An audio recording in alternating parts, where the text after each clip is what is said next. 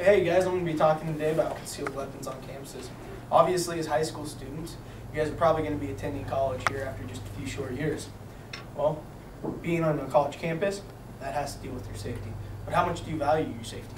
Anyone could walk onto a campus with a gun, but how are you going to defend yourself? Are you going to be able to hold up to someone with a gun with just your fists or a knife?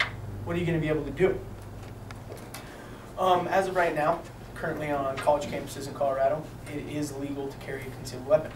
But some people want that to change. It's your right as a citizen, you know, it's your safety. You have a right to self-defense.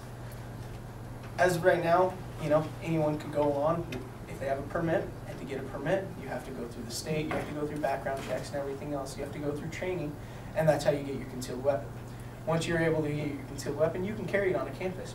Anyone's able to do it, but you have to go through all this training. But what if they didn't have that? What do you guys think? Do you guys think that people should be allowed to carry concealed weapons on campus? Do you think they shouldn't? Well, what do you think? Um, as of right now, most of you guys know, a few months back, or a few years back, I should say, there was a shooting at Virginia Tech. Many people died, more people were injured. But, you know, what could have prevented this? Do you think people carrying guns, you know, citizens like you guys, carrying guns on campus could have prevented this? Do you guys think you could have stopped it? Do you guys think you could have lessened the toll that it took on everyone? Um, before we make a choice, let's look at both sides. One side for allowing concealed weapons on, or for not allowing concealed weapons on campus. Well, hey, guess what? They think that you could have an accidental discharge. You could be sitting there, you could be carrying it in your holster, and next thing you know, it goes off. Well, what happens then if it hurts someone? Whose fault is it? Who's, who's in the wrong?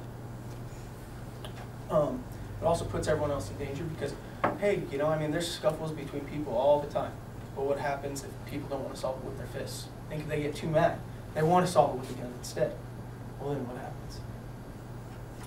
There's a statistic out there that says that people that uh, carry a concealed weapon, they become in, go into a uh, criminal activity, they're 4.5 times more likely to be shot or injured in this scuffle. Um, also, it says that, you know, I mean, there's angry people in the world. Everyone knows that.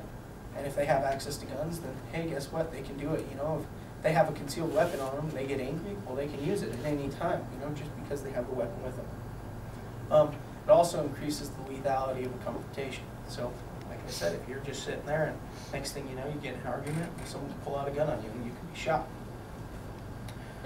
On the other side, allowing uh, concealed weapons could greatly reduce this crime. Fifty percent, uh, fifty-six percent of people say that they wouldn't even attack someone if they knew that they were carrying a concealed weapon. Here's a crime rate graph um, for CSU. This is before they allowed concealed carry weapons. This is crime all the time. You know, I mean, this is all the amount of crime that's going on. This is when they finally started allowing concealed weapons on campus. And as you can know, as you can see, it drops greatly. Um, by not allowing concealed weapons on campus, they're denying your right to self-defense. They're denying your right to safety. And, you know, it also just attracts criminals. You know, would you want to go onto a campus where everyone's allowed to carry guns, or would you want to go onto a campus where no one has any weapons at all? I mean, what do you think? Also, people that say that, hey, guess what, you know, there could be these accidents that happen and all this. Well, these people go through background checks, they go through training, and they know exactly what's going on with their weapon. They have to, because that's how you get a concealed uh, carry weapon permit. Um, allowing concealed weapons on campus could be a very big problem, but at the same time, I mean, this could be the bigger solution. What do you guys think? You could you could sit there and go through all these accidents, or you could just allow people to carry guns, be trained, have their permits. You know, they're all law-abiding citizens, obviously, because of all their background checks. And guess what? It could make the whole environment safer, just because of a few people carrying their concealed weapons. But what do you guys think? Should we allow them?